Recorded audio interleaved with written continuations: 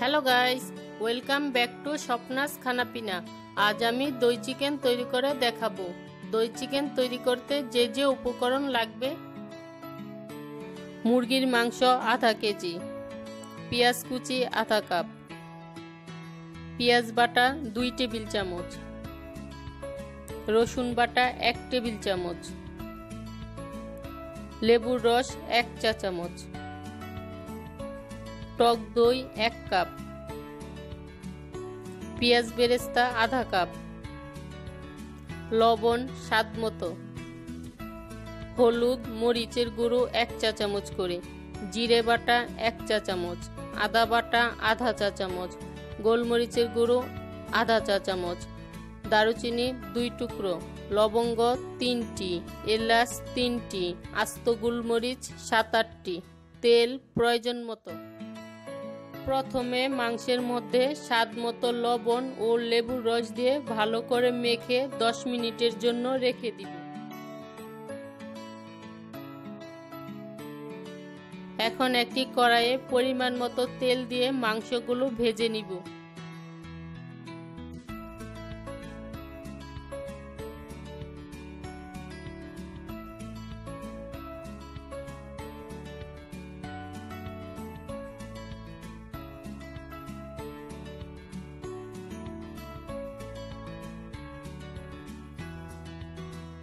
মাংসগুলো ভাজা হয়ে গিয়েছে, এবার এগুলো আমি নামিয়ে নিচ্ছি।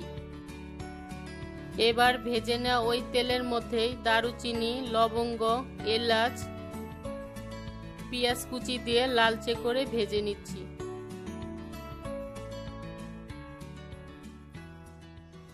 এরপর পেঁয়াজ বাটা, রসুন বাটা ও আদা বাটা দিয়ে ভালো করে নেড়ে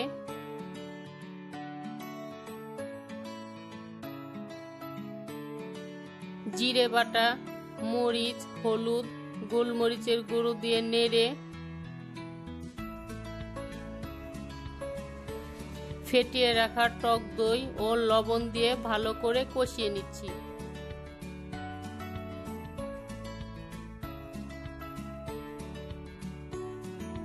কিছুক্ষণ কষিয়ে নেওয়ার পর ভেজে রাখা মুরগির টুকরোগুলো দিয়ে মশলার সাথে ভালো করে মিশিয়ে নিচ্ছি।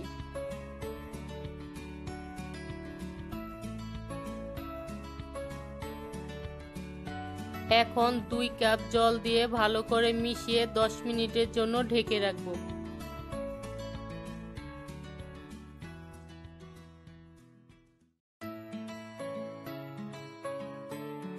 দশ মিনিট পর মাংস যখন সিদ্ধ হয়ে আসবে, তখন ভেজে রাখা পেঁয়াজ বেরেস্তা দিয়ে ভালো করে মিশিয়ে নামিয়ে নিলেই তৈরি হয়ে যাবে দই চিকেন। এখানে আমি ভেজে রাখা পেঁয়াজ বেরেস্তা ও টমেটো দিয়ে সাজিয়ে নিয়েছি। এতক্ষণ সাথে থাকার জন্য অসংখ্য ধন্যবাদ।